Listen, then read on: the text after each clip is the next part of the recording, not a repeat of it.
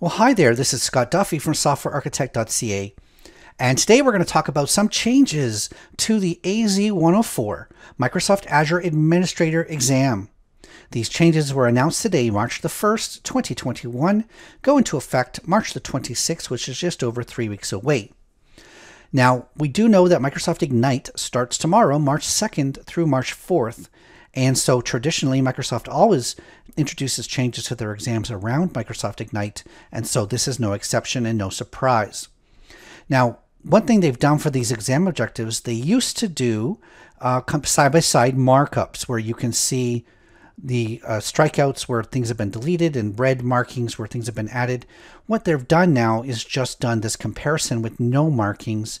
I've taken this PDF myself and I've started to add some highlights here. So let's look over the changes. Now the good news is that I don't see much has changed. They removed a couple topics, they've added a couple topics, they've taken what might have been a very vague generalized topic and broken it up into more specific parts. Not a lot of new technologies have been added.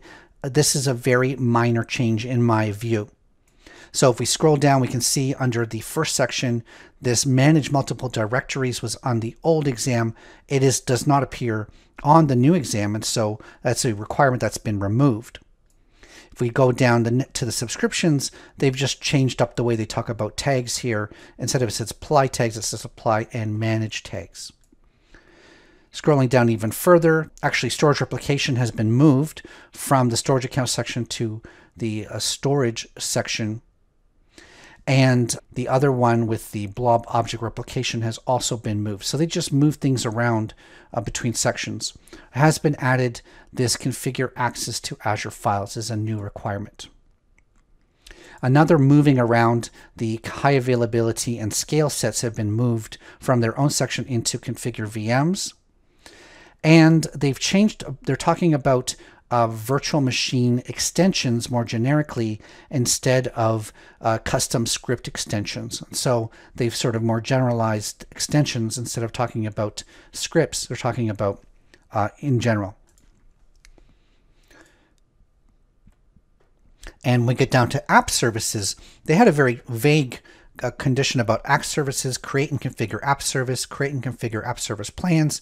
And now they've just um, blown that out to talk about scaling, networking, deployment. To me, understanding app services in general had to do with scaling, networking, and deployment before anyway. So these are not new requirements. They are talking about security, which I don't know if that was necessarily covered before, domain names, and backups. So app services have a couple of new topics. Virtual machines, pretty much the same. They are talking about um, endpoints and private endpoints which as we know is a growing area within Azure networking. Um, and that's pretty much it. They did remove something to do with load balancing, but I don't really see that as a real. I mean, what are they going to do? Not ask about uh, rules within load balancers? That's uh, there's still a lot of topics about load balancing on here, and they did remove a and configure VPNs, but they do talk about VPN gateways. So how can you talk about VPN gateways and not VPNs? So again, not, not much going on there. So in my mind, one topic has been removed, a couple of topics have been added, and that's pretty much it. Pretty uh, simple changes to this exam. I'm not anticipating if you are in the middle of studying for this, this doesn't change your plan in any way. I don't wouldn't modify your date. I wouldn't take the exam earlier or take the exam later. I think you're fine if you're in the middle of process of studying for this. Uh, my analysis is that these changes are minor. Uh, again, I wish Microsoft would be clearer in terms of exactly what's changing. Uh, I have to go through and read through this and mark it up with my own highlighter here, but that's Microsoft for you, I guess. Anyways, uh, this has been Scott. Thanks a lot for checking this out. If you have any questions, comments, concerns, leave them uh, in the comment section, and I would love to hear from you. Don't forget to check out my course, my AZ104 course on Udemy, in the link below. Thanks a lot.